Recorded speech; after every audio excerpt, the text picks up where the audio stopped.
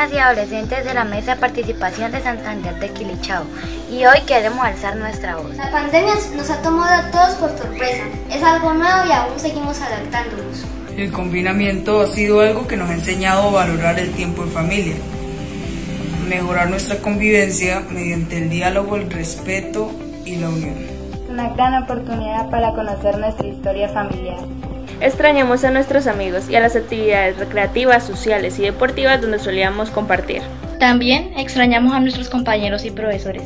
Este nuevo modelo educativo ha traído consigo retos y aprendizajes, más para quienes no cuentan con las herramientas necesarias para acceder a la educación. Vemos que no es fácil cumplir el confinamiento. Sin embargo, los invitamos a disfrutar el tiempo en casa. Te proponemos las siguientes actividades. Mantengamos la rutina. Levantarse, comer saludable y acostarse en los horarios habituales podrían ayudarnos a reducir el estrés y la ansiedad que nos genera esta situación. Recordemos las normas de bioseguridad, lavarnos las manos constantemente, utilizar el tapabocas al salir de casa, mantener distanciamiento físico.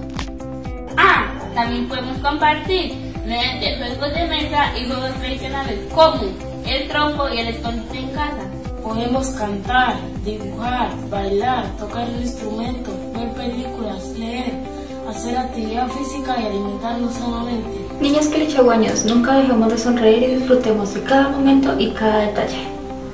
Pensemos que todo esto puede ser algo temporal y es normal que en algunos momentos puedas sentirte triste o intranquilo y desmotivado. No te preocupes, realiza todas las actividades y disfruta al máximo nuestro tiempo en casa.